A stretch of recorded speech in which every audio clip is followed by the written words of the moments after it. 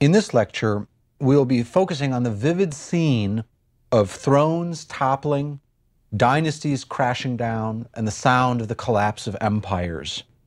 As the war ended in defeat for the Central Powers in 1918, their empires and political structures also came crashing down. In this sense, total war had led to total defeat.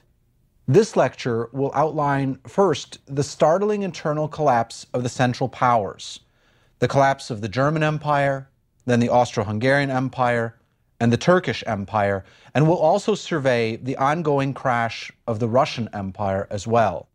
In the case of each of these imperial structures, what order would replace the now extinct order was most certainly a burning question.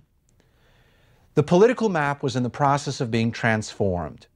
As a result of the war, four great empires came crashing down with astonishing rapidity, and in the process also tore down the ruling families with them. The Russian Empire of the Romanov family, the German Empire ruled by the Hohenzollerns, the Austro Hungarian Empire of the Habsburgs, and the Ottoman realm as well. In Europe, republics replaced dynastic kingdoms in what seemed to be a fulfillment of Woodrow Wilson's promise of a new democratic age. Nine new national states appeared out of the wreckage of empire. From north to south in Central Europe and Eastern Europe, Finland, Estonia, Latvia, and Lithuania, the three Baltic states, Poland, Hungary, Austria, Czechoslovakia, and Yugoslavia. So, in other words, one witnessed the astonishing birth of new nations, as it were, arriving at the state of becoming nation states. But two key points need to be emphasized about this transformation. These new states were not merely created by the negotiators of the Paris Peace Conference soon underway. Rather, facts unfolded on the ground with astonishing speed, suggesting that the appeal of nationalism and those ideas that Woodrow Wilson had announced of self determination and associated democratic appeals were notions that had uh, an appeal far broader than merely that of the rhetorical plane. And some who view the what they would call the balkanization of Central and Eastern Europe as a great tragedy are prone to personalize this development by seeing Woodrow Wilson as responsible for it or having caused it by his rhetoric of self determination. The reality was far more complex. On the contrary, Woodrow Wilson's articulated ideas would have such appeal because they corresponded to such mass sentiment. New independence for nationalities in Central and Eastern Europe also, and this is the second basic point, made for a very different perception of the war itself. One of the themes that we've been pursuing through this course has been that of the different meanings, the often starkly different meanings that were assigned to the war, both as it was going on and in its aftermath, by different participants or witnesses. Well, so too in this case, the aftermath of the war was seen not, as was sometimes the case in Western Europe, as senseless tragedy and waste and problematic victory, but was seen as something very different in Eastern Europe. Instead, often as a baptism of fire for national freedom and independence. Let's turn first to the crucial case of the German Revolution and Germany's beginning of an experiment, unfortunately, a brief and failed experiment with democratic government starting with the German Revolution of November of 1918. After naval mutinies uh, to frustrate the intended uh, death ride plans of naval officers had broken out, and after revolts had broken out in other parts of Germany as well, the attempted revolution from above by Germany's elites to create a constitutional monarchy and to win more favorable consideration in a peace settlement had failed. Kaiser Wilhelm II abdicated and fled to exile in Holland, where he remained for the rest of his life. Generals Hindenburg and Ludendorff, meanwhile, had systematically sought to evade responsibility for the defeat. And this, in some sense, represented a crucial milestone in the growth of a conspiracy theory, the stab in the back legend, blaming not Germany's military leaders, but mysterious others for this defeat. Prince Max von Baden, who had been landed with the duties of imperial chancellor, now instead prepared for a transfer of power. He offered the power of the state and the government to surprised social democratic leaders who were caught unprepared. In a sense, there was a, a, a strange irony about this very moment. Social Democrats, as a revolutionary party, had long been insisting in their own propaganda and in their own beliefs, ideologically, that they were a party that was organizing to take power and to produce a fundamental social revolution within Germany as well. And now, when the hour arrived, they were surprised and caught off guard. The Social Democratic leader, Friedrich Ebert, took over thus on November 9th, 1918. In this chaotic set of circumstances, his colleague, Philipp Scheidemann, declared a German Democratic Republic in Berlin. The new German experiment with democracy was beginning, but it was beginning in the context of great confusion. There was a sense in which the revolutionary events themselves were coming so fast and furious that it was difficult for observers and ordinary Germans to keep track of what it was that was happening. One of these observers commented that it seemed in these event filled days that Germany had fallen asleep under an empire and then had woken up under a republic. In part, the confusion was further underlined and accelerated because there had not been planning during the course of the war itself for demobilization that might follow upon defeat. Now, this speaks volumes about the sense of the totality of the war. Total defeat or total victory had seemed to be the alternatives in years past, so that governments on all sides had not been thinking about the unthinkable. What would happen if your side lost? How would you prepare for an orderly demobilization? It seemed, on the contrary, that total victory was the only thinkable option. But now it would have to be faced up to this fact that defeat was a reality. In the process, Germany was in a situation in which chaos and confusion were rife. To just enumerate some of the symptoms of this confusion, throughout Germany's cities and in the, in the barracks of the army and the garrisons of the sailors, local councils were being organized. And these were quite explicitly on the model of the Russian Soviets, which had been the grassroots councils of a sort of very basic democracy of the street that had taken such a trajectory in the Russian Revolution. At the same time, a socialist republic was being declared in Bavaria. Separatists were being mobilized in the Rhineland to perhaps establish an independent Rhineland state, maybe under French patronage. And these cases made very clear that Perhaps Germany's own borders were not secure. Perhaps Germany's cohesion might be breaking down territorially due to these regional differences. And then add to this the fact that out in the streets of Germany, out in the barracks, there were now 10 million German soldiers who needed to be demobilized. They were armed, they wanted to go home. It was unclear if one or another political faction might win their sympathies. Most certainly, a potentially volatile force. And at the same time, to add just one last difficult problem, a revolutionary movement of radical socialists called the Spartacus Revolutionary Movement after a slave rebel of classical times in the Roman Empire. Uh, the Spartacus Revolutionary Movement was being organized and it planned actively the overthrow of anything less than a radical socialist state. This was symbolized perfectly by one fact. While the German democracy was being proclaimed by Scheidemann on November 9th of 1918 from the German parliament building, uh, just a few steps away from the balcony of the royal palace, a radical socialist by the name of Karl Liebknecht, who had held firm to his convictions during the co- course of the war, was declaring a rival socialist republic, a radical socialist republic at that same time, promising a system that would link up and make common cause with the Bolshevik regime in the East, uh, hoping to accelerate the progress of an international revolution. There was something deeply, deeply symbolically laden about the declaration of this radical socialist, maybe even Soviet republic uh, from the royal palace. It was precisely here where four years previously Wilhelm II had gone out to declare the domestic truce, arguing that the Burgfrieden, or the peace of the castle, was now a reality and that he saw before him only Germans.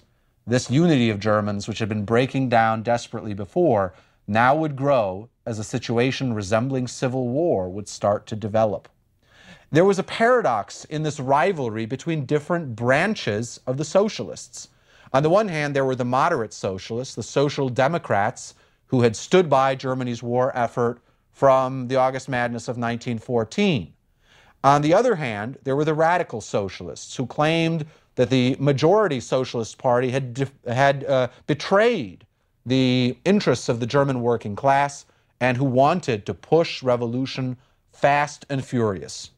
The paradox here was that the SPD, the majority and more moderate socialists, had earlier been claiming that they too wanted revolution, but now they would find themselves faced with a challenge of trying instead to simply save order. Government leaders now fell back on an agreement which would come back to haunt them very quickly. The government leaders made an agreement with the German army for mutual assistance. The army extracted the promise that the German army itself would not be purged or cleansed of its traditional officer class.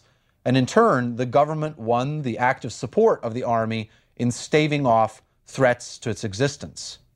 In the process, the army, which was caught already in a increasing process of disintegration, as well as the government, set about hiring committed fighters who would take up the cause of the government. These were, in essence, brutal mercenaries who came to be called Freikorps, uh, essentially meaning free corps or free units, who would set out to quell revolts. And these Freikorps were of uh, a varied complexion. On the one hand, they included former soldiers, included stormtroopers who didn't want to end the existence of fighting but enjoyed it and wanted to prolong it. It also included students and, and younger boys, young men who had uh, felt that they'd missed out on the experience of fighting on the front, but were now caught up in the Civil War atmosphere that ruled in the streets of Germany.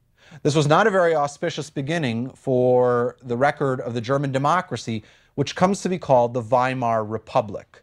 Uh, the reason it's called the Weimar Republic is because the constitution of this democracy is written in southeastern Germany in the a city of culture and associations uh, that were more liberal in nature than, than the imperial capital of Berlin, the city of Weimar, uh, and thus the entire state takes on the name of the Weimar Republic. The provisional government that ruled this young German democracy included the three parties that earlier in 1917 had supported the peace resolution and had spoken out against the hardline German nationalists. This provisional government was made up of the Social Democrats, the moderate majority Social Democratic Party. It included left liberals, and it included the Catholic Center Party. In the elections for the Constituent Assembly, which would write the Constitution in Weimar, the elections which took place in January of 1919, a strong vote was returned, which seemed a considerable voice of support for the project of building a German democracy. These three parties, which oriented themselves democratically and pledged to introduce an effective German democracy, gained 76% of the vote in this new German election. This seemed to be a mandate for the building of a new German democracy, and in that sense, a good omen. The Constitution, which was written then in Weimar, was considered a model of democracy a model of progressive governance, an enlightened welfare state obligations growing in many senses out of the new role that the state had taken on in World War I. Uh, indeed, this new German democratic constitution was admired by Democrats, many Democrats worldwide. It included universal voting rights and the rights of women to vote, as well as a Bill of Rights and very extensive social commitments. Some historians, however, caution that maybe it was too democratic. it had a system of voting that's called proportional representation, which aimed to give even small groups a voice in the larger political landscape. But this system of proportional representation made for, in the end effect, a quite splintered parliament with many parties and introduced the danger that a small and very radical party might be able to, in a sense, get its foot in the door and then use the democratic process to subvert democracy, something that the Nazis later end up doing. At the same time, and most definitely a burden to this young German democracy, was the stab in the back legend that was growing in conviction and force. In the minds of many, German democracy would come to be associated with defeat and the terms of the Versailles Treaty that were being announced to an outraged German audience at precisely this time. Radical nationalists would soon be denouncing the government as not legitimate, but rather November criminals. And when German troops returned from the front, the government itself welcomed them as undefeated in the battlefield, in the words of the President Ebert. And this obviously raised a serious question. If the troops had been undefeated fighting on foreign soil, how then had Germany lost? The reality that Germany had been beaten because of a balance tipping against it in material and military terms, that was suppressed. Instead, the stab in the back legend, Dolchstoßlegende in German, was already being circulated during the war and now proliferated, asserting that Germany's armies had been betrayed by treacherous elements on the home front. And with sort of a grim regularity, the groups that were scapegoated were Democratic politicians, socialists, Catholics, as well as German Jews. Germany's ill fated ally, Austria Hungary, had also come crashing down. Even before the war's end, Austria Hungary had been in the process of dissolving before the eyes of its leaders. National committees had been founded by the separate ethnic groups who increasingly clamored for independence and exile politicians of these ethnic groups abroad, including in the United States, agitated the Western allies for recognition. At first, the reluctance of the allies to see the Austro Hungarian Empire simply dismembered was considerable. If they looked forward to restoring a balance of power, it might be very good to have one larger state like Austria Hungary preserved. But with the intensity of hatreds and emotions of total war, that reluctance faded over time. From 1917, with those world historical events, the Russian March Revolution, which introduced a more democratic system, and the American entry into the war and Woodrow Wilson's notion of a crusade for democracy, a new ideological emphasis took hold worldwide and condemned this multinational empire of the Habsburgs. Wilson's 14 points included the demand for the free autonomous development of the peoples of the empire, and this soon would develop into a demand for independence. By the summer of 1918, the Allies were supporting the national claims to independence of the minorities and recognized exile committees. A key example was that of Czechoslovakia. A national committee had de facto been taking over power in the Czech lands and had been making common cause with the related ethnic group, the Slovaks, mobilizing one of the best organized national movements in Europe. Abroad, Tomáš Masaryk and Edvard Beneš co founded in exile the Czechoslovak National Council in London and Paris of 1915. And events now snowballed. On October 28, 1918, an independent Czechoslovak republic was declared in Prague. Further south, in the Balkans, a pre war South Slav movement, which aimed to unify the South Slavic peoples, the Croats, the Serbs, and others, led to the forming of a Yugoslav committee in exile in London of May of 1915, which united Serbs, Croatians, Montenegrins, and Slovenes.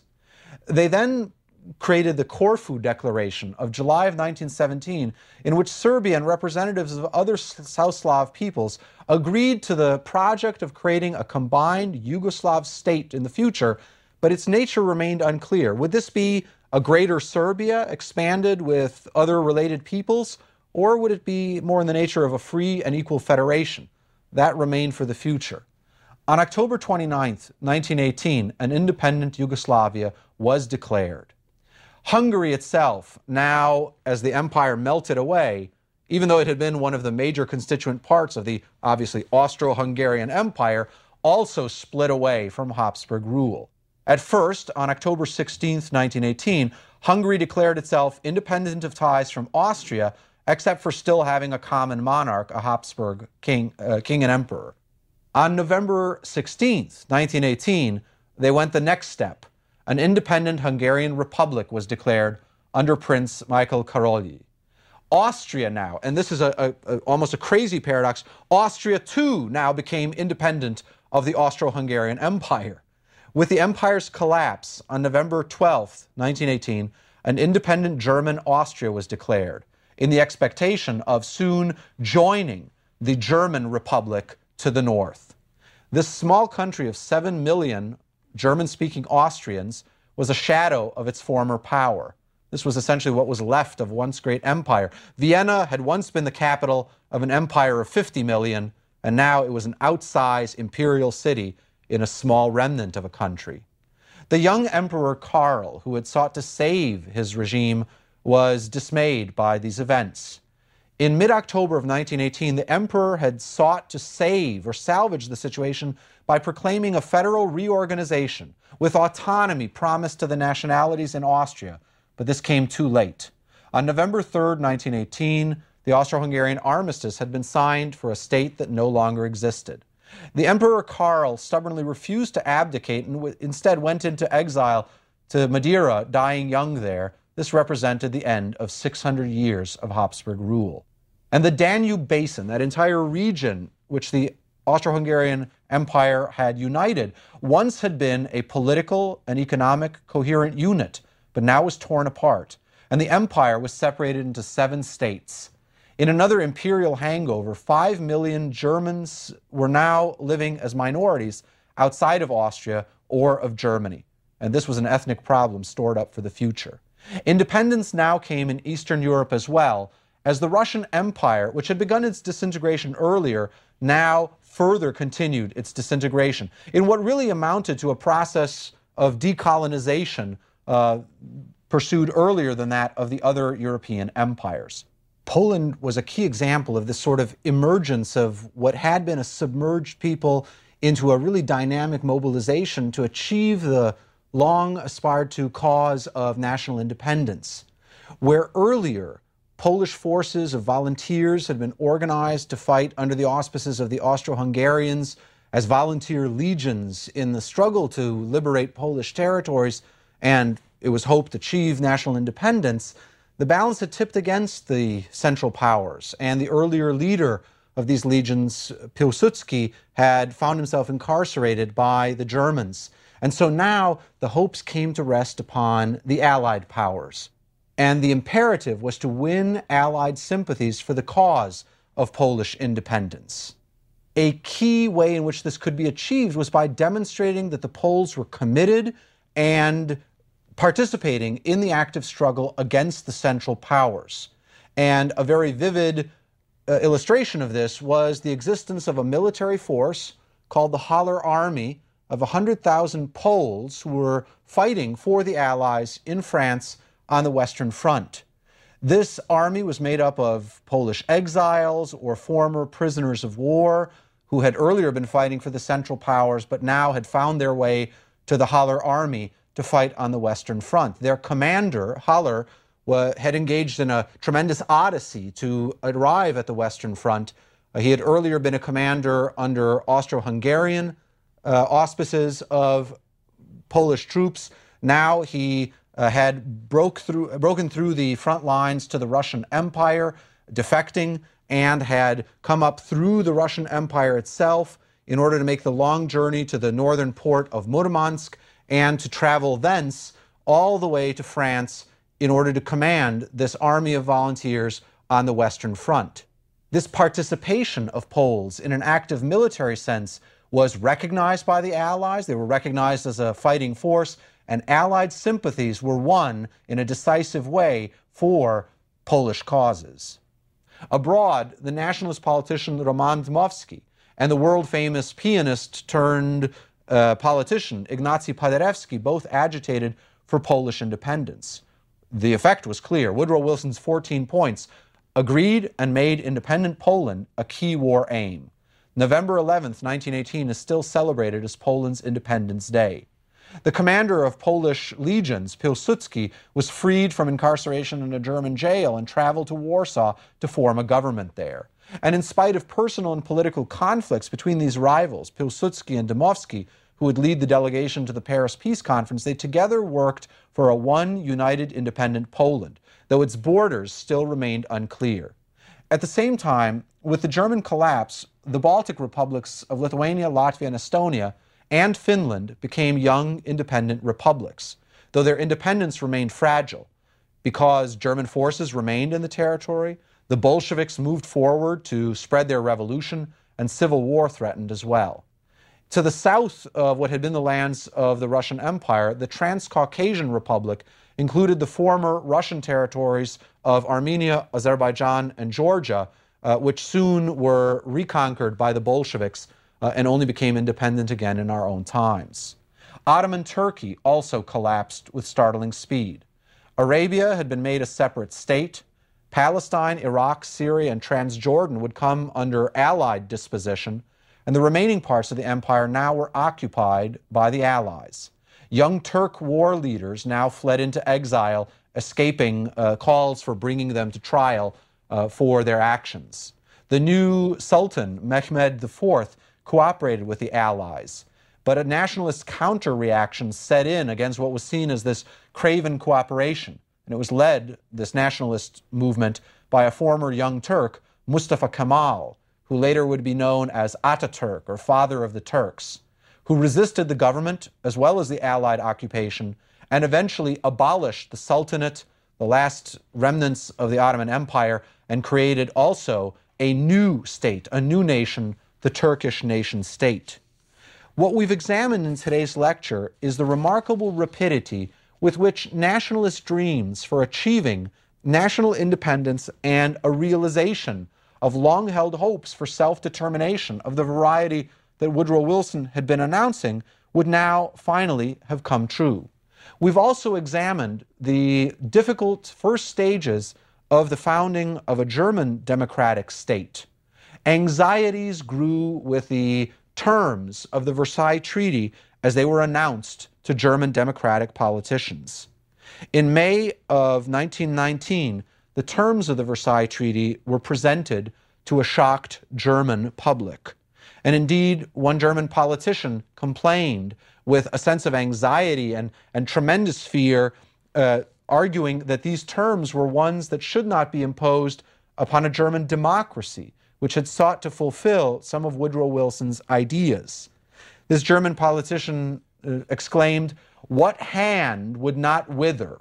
What hand would not be paralyzed that laid itself in such chains by signing a Treaty of Versailles? The Paris peace settlement, thus, which followed upon the achievement of this collapse of empires and the founding of new states, represented a incomplete and unhappily incoherent answer, as it turns out, to a fundamental challenge of this new age. How to combine an attempt at the realization of Woodrow Wilson's democratic message of a crusade to make the world safe for democracy and to achieve a new world order founded upon more democratic governments on the one hand, with the demands that had grown out of the emotions, the hatreds, the passions of the war itself for a reining in and a revenge for the crimes of the enemy side. The Paris Peace Settlement, uh, a whole complex of treaties that would be signed with the defeated powers, and in addition, among these treaties, the most important of them, the Treaty of Versailles, that would be imposed upon uh, a defeated Germany as the centerpiece of this entire settlement, would leave traumatized international politics and raise once again the question of how such problems might be solved through peaceful settlement rather th- than through a recurrence of the same sort of total war which the future held in store. It's precisely this dynamic of the crafting, the writing, and the attempt at the creation of the Paris peace settlement and the Treaty of Versailles itself with a defeated Germany that we'll be examining in much more detail in our lecture to follow.